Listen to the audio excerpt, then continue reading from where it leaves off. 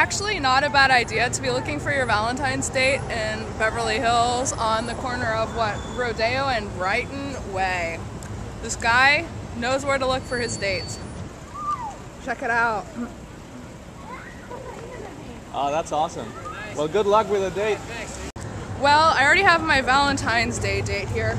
Otherwise, I might, you know, offer to at least buy the guy a cup of coffee so he can officially say he had a Valentine's Day date. And I would bring him the cup of coffee in the street and we would have our date like right in the divider in the median on Rodeo Drive.